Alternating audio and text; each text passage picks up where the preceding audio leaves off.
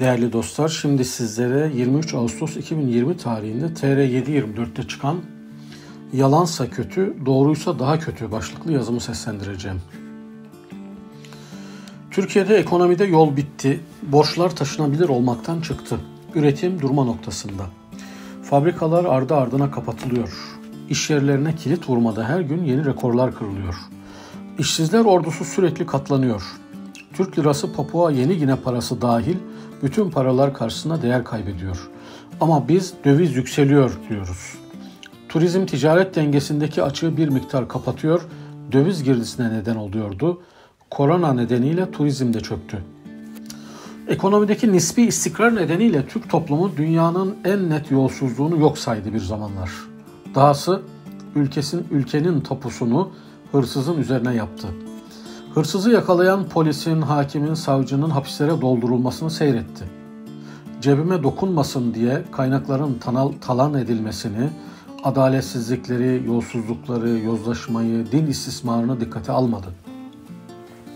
Aydın namusuna sahip gerçek entelektüeller halka çalıyor ama çalışıyor anlayışının ağır maliyetler getireceğini ifade etti. Millet bakın ekonomi çökmedi diye hırsızlığı, yolsuzluğu savunmaya devam etti.'' Çünkü Türkiye kaynakları birkaç yılda bitecek küçük bir ülke değildi. Erdoğan yönetimi 8-10 yıldır üretmiyor, hazırı tüketiyor, satılacak her şeyi satıyor. Ama artık ekonomi çöktü, deniz bitti. Borçlar taşınabilir olmaktan çıktı. Kriz insanlara dokunmaya, insanların canını yakmaya başladı. Enflasyondan, işsizlikten, ekonomik çöküşten doğrudan etkilenen kesim Erdoğan'a en çok destek veren alt gelir grubu. Şimdilerde Erdoğan'a tapanlar bile homurdanıyor, söyleniyor. Uzmanlar mevcut krizin 1994, 2000 ve 2008'de yaşananlardan daha derin olduğunu söylüyor. Ama basın yayın organları AKP kontrolünde olduğu için hak söyleyen susturulduğu, doğru yazanın kalemi kırıldığı için millet felaketi fark edemedi. Krize maruz kalanlar kendini yaktı, işini gücünü kaybedenler feryat etti, lakin sesleri geniş kitlelere ulaşmadı. Önceki krizler koalisyonları bozdu, yeni hükümetlerin kurulmasına zemin hazırladı. Şu anda ise tek adamın devlete hakim, muhalefetin yetersiz olduğu bir siyasi ortam var. Canı yansa da millet bir çıkış, alternatif göremiyor. Siyaset tıkandı. İktidar ömrünü çoktan tamamladı. Erdoğan oturduğu koltuğu çok kirletti. Ülkenin altını da, üstünü de, geçmişini de, geleceğini de tükettiler. Bunu en iyi Erdoğan bildiği için sürekli umut tacirliği yaparak, krizler çıkararak iktidarını sürdürmenin yollarını arıyor. Din ve hamaset satarak milliyetçi muhafazakar kitleyi konsolide etmeye çalışıyor.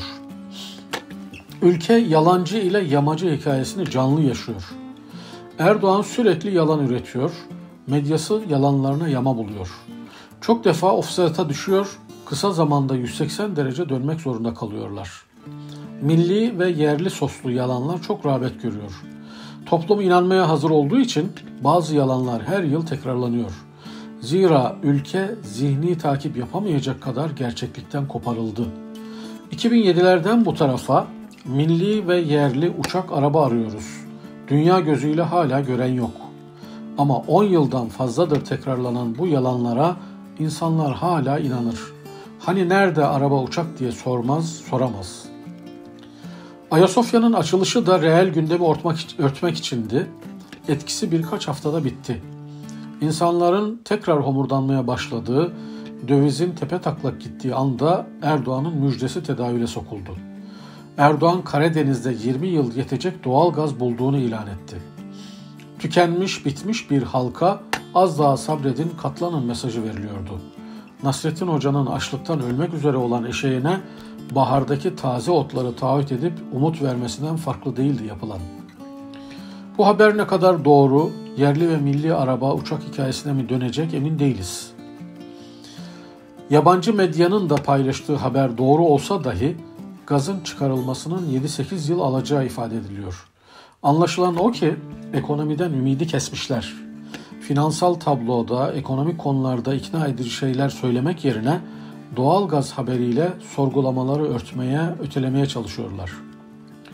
Peki gerçekten gaz bulunsa ve çıkarılsa çözüm olur mu? Kendine yeter gazı olan, Hatta gaz ihraç eden Erdoğan yönetimindeki bir ülke adaletli, huzurlu, yaşanabilir bir ülke olur mu? Kesinlikle hayır. Demokratik bilincin ve kültürün olmadığı, halkın kamu kaynaklarının varlıklarının hesabını sormadığı ülkelerde yeraltı zenginlikleri sadece diktatörlerin elini güçlendirir. Mevcut yönetimi daha fazla otoriterleşmeye sevk eder. Türkiye'nin Orta Doğu'daki petrol zengini ülkelerden en önemli farkı ve avantajı ciddi bir yeraltı zenginliğine sahip olmamasıydı.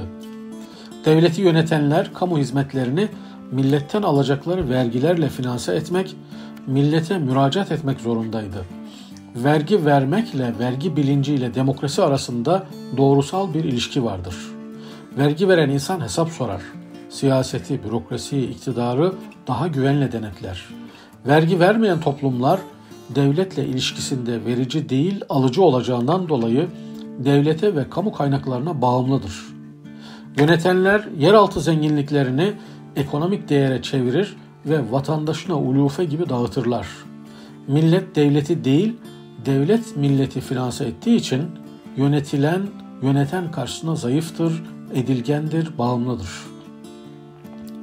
Yeraltı zenginliği yok iken diktatörlük kurabilmiş bir lider, yeraltı kaynağı bulduktan sonra saltanat kurar. Sandık, oy, vergi derdine de düşmez. Çıkarılan yeraltı zenginliğini babasının çiftliği gibi kullanır, dilediğini satın alır, dilediğini açlığa mahkum eder. Ekonomi yönetimi diye bir derdi de kalmaz.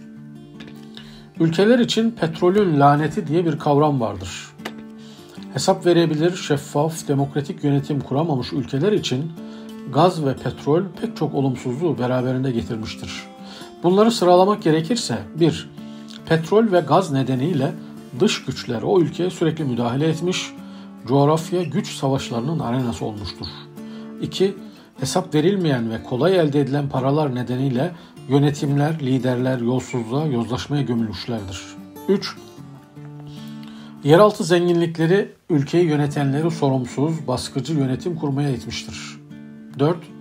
Yeraltı zenginliğinden gelen kolay kazanç, bölüşüm problemlerini ve bundan kaynaklanan iç savaşları doğurmuştur. 5. Bürokrasiler, memurlar bir yönüyle otoriterleşmeyi yavaşlatan, direnç gösteren misyon görürler. Ama maaşları petrol gelirlerinden oluşan, hazır kaynaktan alan memurlar, yargıçlar, bürokratlar millete karşı sorumluluk duymaz. Yönetimin ve diktatörün mutlak piyonu haline gelirler. 6. Üretim ekonomisinin oluşmadığı, kaynakların tek elde toplandığı ülkelerde sosyal ve siyasi muhalefet gelişemez. Muhalefeti destekleyecek sınıflar, sınıf bilinci ve kesimler oluşmaz. Türkiye'nin petrolü gazı yok. Ama petrol ve gaz üzerinde yüzen İran'dan ekonomisi daha büyük. Kişi başına düşen milli geliri daha yüksek. İran'daki gaz ve petrol rejime muhalefet hareketlerini bastırmak, milleti sindirmek için müthiş bir güç veriyor. Molla yönetimi yer altından elde ettiği geliri halkla paylaşma mecburiyeti hissetmiyor. Aksine İran toplumu aç, perişan yaşarken onlar bu zenginliği rejimin dışarıda yürüttüğü maceralara, savaşlara çerez ediyorlar.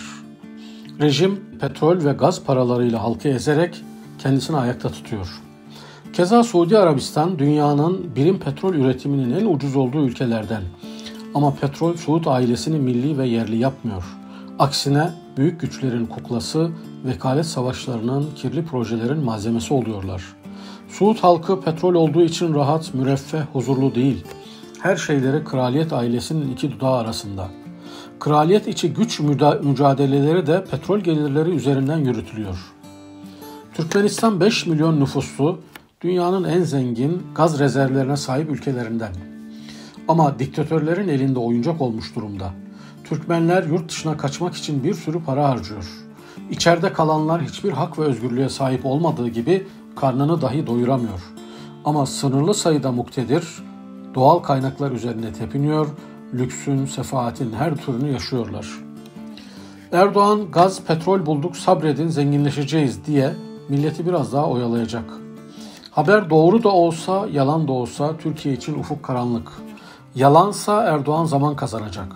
Gerçekse artık otoriterleşme ile yetinmez. Erdoğan sultan olur ve Erdoğan oğulları saltanatını kurar. Bulunan gaz sadece kendisini ayakta tutmaz, çoluk çocuğunun saltanatını da garanti eder. Türkiye'yi kurtaracak olan gaz, petrol, mucize, müjde değil. Toplumun kendine gelip iktidarı sorgulaması, ırgalamasıdır. Demokrasi, hukuk, adalet istemesidir. Verdiği verginin hesabını sorması, kamu kaynaklarının, kamu arazilerinin takipçisi olmasıdır. Teşekkür ederim.